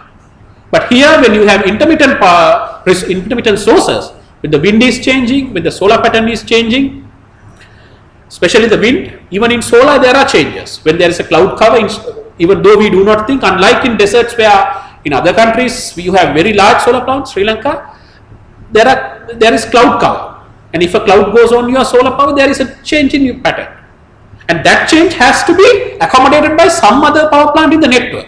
So that is the issue. So you should have additional power plants. You should have them at a running level or to and especially wind. Of course, now there is a development where you can predict wind. So you have to go to that level. And even if you predict wind, then they still you should have power plants that should support these changes in predict. Even if you predict, if you do not have power plants to support that, there is no purpose. So those are the linked issues to renewables. And also in most of the renewables, especially if you take wind, the capital cost is relatively high, and major portion of uh, both wind and solar is important. So there again, there is a foreign currency involvement. Even though the fuel cost is not there, the, for the capital cost, you will be taking a loan or paying something, and it will be affecting your foreign currency. So that aspect is there. So that is coming to the end. Of course, we have only five or four minutes, so I would just touch on what we have been talking about. I told you the importance of knowing the general figures, the level, the ballpark figure. That is the word I want to say. What is the capacity of Sri Lanka? What is the capacity of the whole power plant in Sri Lanka? How much is the demand? Daily demand, what is it? Is in 2000. Sri Lanka's available capacity is 3000. And the uh, gen- uh, energy amount needed for a day in Sri Lanka is in the range of 30 to 35 gigawatt hours. That is million units. We need about 30 to 35 million units and in your day in a house about 185 uh, units are used no, 180 120 in that range we use. And also we talked about uh, the, uh, uh, the transmission network the generation technologies and also the issues in the power sector. And also the sectors players the laws there are three major laws the electricity act cb act and the pucsl act. And the regulator is pucsl that we talk the regulated environment. Everybody has to take a license the issues with regard to licenses and the and the major issues in the sector that is the subsidizing selling lower in lower cost and on the other hand having different uh, tariff categories the net metering issue the pros and cons of renewable energy and also the sudden policy changes, the effect of sudden policy changes, and the issue of long-term effects in decision making in power sector. So those are some of the things that we talked about. Of course, most of the data that I produced here, except are available in these things. And also, I would uh, suggest that if uh, maybe you have one month or two, even for uh, this annual report of the National Atlas, uh, I got some values, but just uh, if you have time, go through it. Annual report of CBS, Central Bank's annual report is a very good uh, document for you to read uh, for this, uh, even answering the engineering B paper. Of course, not the whole report. There is chapter 1 which talks about the is analysis of the chapter and there is the statistical index at the start. Just glance through it and go through that first chapter. I don't know whether it's the first chapter or the second chapter. There is analysis of the country's uh, economics. There the, they talk about the energy, the telecommunication, the electricity, the transport. So all of your sort of questions are covered in a with the links to economics. So the annual report in the CBS Central Bank, it's in the web. The CB long-term generation expansion plan, uh, of course, is uh, not uh, is now the next. The other plans have come up. So it, if you go to the CB website, there is a draft plan. In the PUCSL also, there is a draft generation plan. It will have these transmission lines as well as also some information on the coming and the CB website, the PUCSL website, and the uh, energy that is the SCA website. So most of this information is available on the web. So the information you cannot, I know, learn all this, but try to get some basic understanding of these uh, sectors, as I said, of the energy sector, of the electricity sector, the key uh, figures, the ba- ballpark figures, and the macro picture. So electricity in Sri Lanka is like this. It has hydrothermal, the thermal fuels are imported, there is a renewable energy component, it is increasing, coal is increasing, but it may decrease due to uh, the government policies. Is it right? It may be right in an environmental sense, but economically is it right? If it is economically not right, who will get affected, when affected? Those are the things that you should not, not try to learn by heart. CB has a board, the board members are this, not that. Just before going, now this is something that I always tell to everybody. You know, we all know that this is a difficult exam. Might, we all found, find that because this is not our way. We all would like to answer, you know, write things in graphics or in calculations. But this is also necessary. So, this, as you have about uh, how much one month or one and a half months? When is the exams? August. Okay. Anyway, just use simple English. This, this now I have not marked these papers, but this is what I have heard from the people who have marked. They have said that you have people try to write complex English. Then you get you you and long sentences. Don't do that. Start with a short se- start have short sentences. They will not look at whether you you know you you know literature or anything. But if you try to do literature, you will have to be correct. noun එක එක තැනක ඉවර කරන්න verb එක වෙන එක. Oh, you don't have a word because you have so many long sentences. Don't do that. And also read what you have written if you can. Of course, it's very difficult when you are writing fast to read yourself. But do that when you practice. That is absolutely necessary because we have not. I'm not sure none of you have written a you know analysis analysis question exam for a long time. Other if if, if you not have may- if you have done an MBA or something very recently, you would have done. Otherwise, no. maybe since අර O level පන්ති සමාජ අධ්‍යයනයට ඉතිහාසය ගැන හරි කවුරු හරි ගැන ලිව්වට පස්සේ an analysis type of a question we have not done. So that is the difficulty in this. You have to think for both parts and also write according. So that is why I said that uh, and legible handwriting. Whatever you write, if they can't read, you will not get marks. So at least four question papers, write answers, and tell your friend to read it. He also won't know whether you are right or on the answer, but at least try see whether he's he can read it. Then you would know whether anybody else can read it or not. So this is very simple. I, uh, don't get angry with me trying to tell very uh, podideval kilo, but these are also important as much as the megawatts and kilowatts. Okay, time is 7.15. I know all of you are in a hurry. So I will not think about questions. If you have any questions, uh, my email address I can give it to you. See uh, samitha.midigaspe at cb.lk will find me. Shall I type it here?